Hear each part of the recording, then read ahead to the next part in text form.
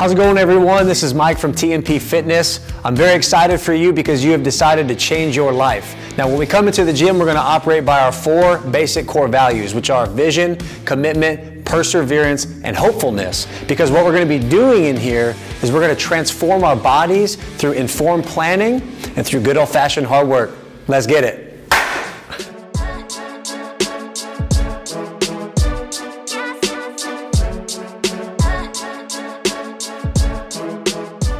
Check it out. It's day one in the gym, and we're to really focus on something called body recomposition throughout the entire training process, right? I mean, we're in here to get strong, but we also want to look good and feel good, right? So the topic that we're to be discussing today has to do with body recomposition. Now, what body recomposition is, is it is the process of your body literally changing shape. And we're doing that by building muscle and losing fat, right? That's what most people want to do. In my experience as a personal trainer, I've heard that stated as the goal from 95% of my clients. They want to build muscle and lose fat. And that's a good goal, right? And that's going to be our primary goal. But how we approach this is going to be different for everyone. It has to do with your current body composition. Now, we have three options for the sake of this discussion. We have low body fat percentage, moderate, and high body fat percentage. We have two categories of people, right? We've got males and females. So if you are one of those people who has between 8 to 12% body fat and you're a male, then you would be considered with low body fat. For females, that range is 18 to 22%. If you have moderate body fat and you're a male, that means you have between 12 and 18% body fat. And for females, we have 22 to 28% body fat.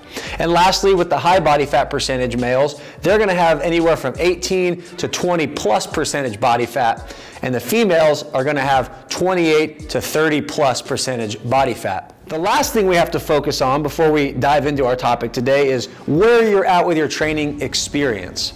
Now, we have beginners, intermediates, advanced, and then detrained. The beginner in the gym has less than two years of training experience. So here's the good news. For beginners, you're going to see progress quickly. I promise. And all we really have to do is follow a very basic strategy, a very basic program, and just make sure that we're progressively overloading on a weekly basis. So what would that look like? That means we're going to start our first push exercise maybe as a wall push-up. Then we'll come down to the floor, we'll do a floor push-up. And then once we master that, we'll go to the bench, we'll do some dumbbell bench press. And then once we master that, we'll go to the barbell bench press. And we're just going to slowly add weight from a week-to-week -week basis. That's called progressive overload. For the intermediate, an intermediate is someone who has between two and five years of training experience. They're going to see results fairly quickly, but they've already passed what we call the newbie gains stage. So they're no longer newbies, and gains are a little bit harder to get. The third category is are those advanced trainees. Now advanced trainees, they're people who have been training for more than five years. Now obviously, they had to go through the beginner and the intermediate stage to become an advanced trainee. With them, it's going to be a little bit more difficult to recomp their body. But they're going to have to continue at it, but more than likely they enjoy the process, right?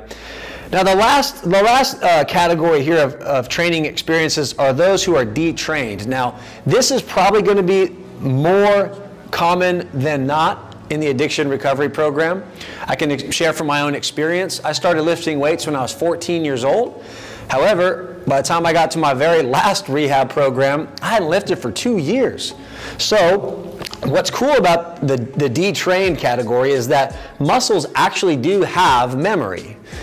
Now, without getting too deep into that concept, just know that if you have trained for more than two years of your life, you developed those muscles and they have somewhat of a memory storage.